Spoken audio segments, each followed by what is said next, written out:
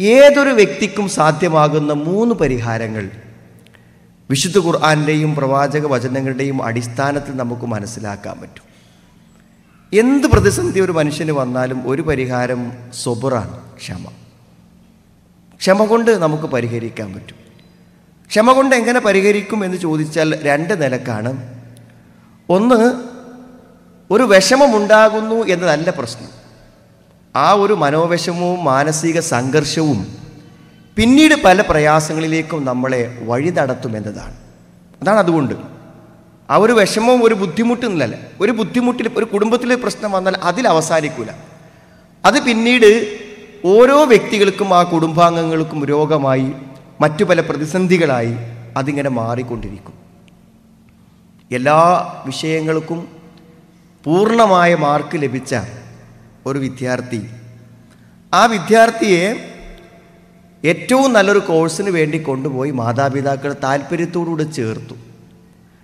ഒരു നാല് ദിവസം ക്ലാസ്സിൽ ഇരുന്നപ്പോഴേക്കും അവനിങ്ങനെ തോന്നി ഈ കോഴ്സ് എനിക്ക് പഠിക്കാൻ കഴിയൂല. പിന്നെ ഒരു രണ്ട് മൂന്ന് ദിവസം കൂടെ അവൻ സ്കൂളിൽ പോയെങ്കിലും അവന് ആ കോഴ്സ് എനിക്ക് മുന്നോട്ട് കൊണ്ടുപോകാൻ പറ്റുകയില്ല എന്ന് തോന്നിയതോടുകൂടെ അവന് മാനസികമായ പ്രശ്നം വന്നു.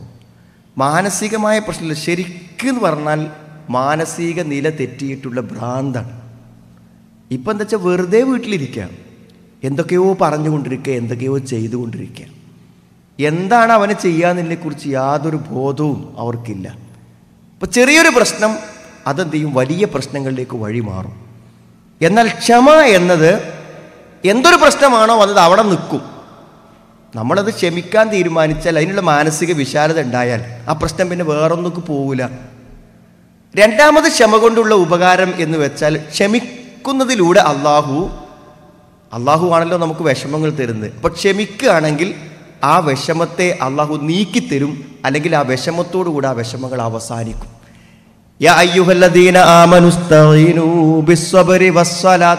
ഇന്നല്ലാഹ ഏ സത്യവിശ്വാസികളെ നിങ്ങൾ ക്ഷമ കൊണ്ടും നമസ്കാരം കൊണ്ടും സഹായം തേടും.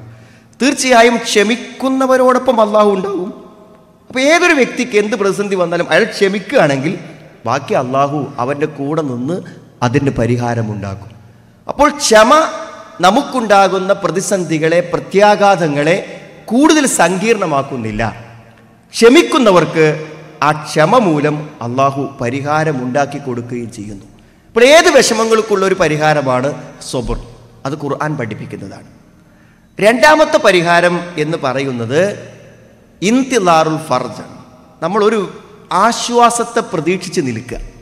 എന്ത് വിഷമം വന്നാലും നാളെ എന്താന്ന് നമുക്കറിയില്ലല്ലോ. തീരും. ഇത് നാളെ തീരും. ഇതിനൊരു പരിഹാരമുണ്ടാകും എന്ന പ്രതീക്ഷ. അതേതൊരു വിഷമത്തെയും. അപ്പോൾ നമ്മളൊരാളെ ആശ്വസിപ്പിക്കുമ്പോൾ ആദ്യം പറയാൻ എന്താണ്? "ഛെ, അതൊന്നും സാരല്ല. അതൊക്കെ ശരിയായിക്കോളും. അതൊക്കെ ശരിയായിക്കോളും എന്നുള്ളത് ഒരു പരിഹാരത്തെ ആശ്വാസത്തെ നിങ്ങൾ പ്രതീക്ഷിച്ചു കൊള്ളുക എന്നതാണ്. ഏതിനും ഒരു പരിഹാരമുണ്ടാകും എന്ന ആശ്വാസ പ്രതീക്ഷ. അതാണ് രണ്ടാമത്തെ പരിഹാരം. മൂന്നാമത്തെ ഒരു പരിഹാരമാണ് അദ്ദു പ്രാർത്ഥന. എന്തും അള്ളാഹുവോട് ചോദിക്കാം. ആ ചോദിക്കുന്നതിന് ഒരു കുറവുമില്ല. ചോദിക്കുന്നവരെയാണ് അള്ളാഹുവിന് ഇഷ്ടം വകാല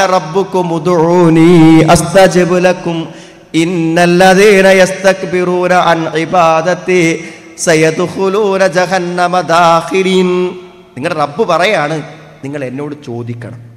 പണ്ഡിതന്മാർ പറഞ്ഞു ചോദിക്കണം എന്ന് പറഞ്ഞതിന്റെ തൊട്ടടുത്ത വാക്ക് ഞാൻ നിങ്ങൾക്ക് ഉത്തരം തരാമെന്ന്. അത്ര ദൂരമുള്ളൂ. ചോദ്യവും ഉത്തരവും തമ്മിൽ അത്ര ദൂരമുള്ളൂ. നിങ്ങൾ എന്നോട് ചോദിക്കൂ തൊട്ടടുത്ത പദം ഞാൻ നിങ്ങൾക്ക് ഉത്തരം തരാമെന്നാണ്. ചോദ്യവും ഉത്തരം തരാമെന്ന് പറഞ്ഞ പദങ്ങളും തമ്മിൽ എത്ര ബന്ധമുണ്ടോ അത്ര ബന്ധമുണ്ട്.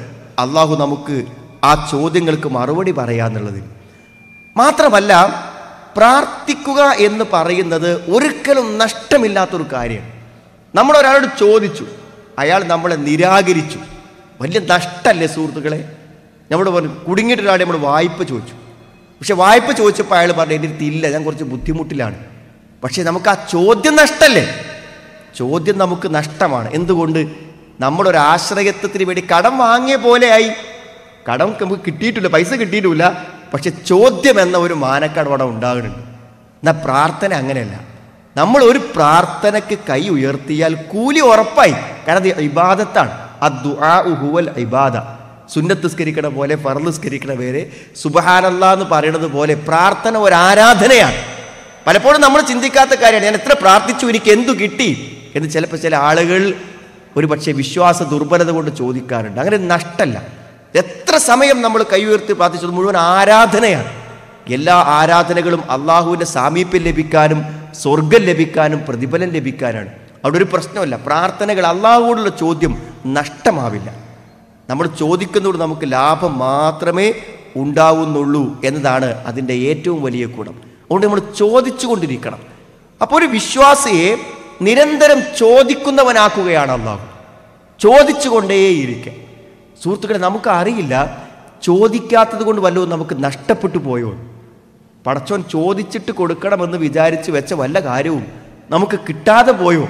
ഒന്ന് പ്രാർത്ഥിക്കാനോ ചോദിക്കാനോ മടിച്ചതിന്റെ കാരണം കൊണ്ട് ഈ മൂന്നും ആർക്കും പറ്റിയ കാര്യം. സാമ്പത്തിക ശേഷിയുള്ളവനെന്നോ അറിവുള്ളവനെന്നോ അറിവില്ലാത്തവനെന്നോ പ്രശ്നത്തിന്റെ വലുപ്പമോ ചെറുപ്പമോ ഒന്നും ഇതിൽ പ്രശ്നമല്ല. ഈ മൂന്ന് പരിഹാരം എനിക്കും നിങ്ങൾക്കും എന്തെങ്കിലും ഒരു വിഷമം ഇപ്പോഴുണ്ടെങ്കിൽ പോലും ഈ മൂന്ന് പരിഹാരത്തിലൂടെ അത് പരിഹരിക്കപ്പെടും എന്ന കാര്യം ഉറപ്പാണ്.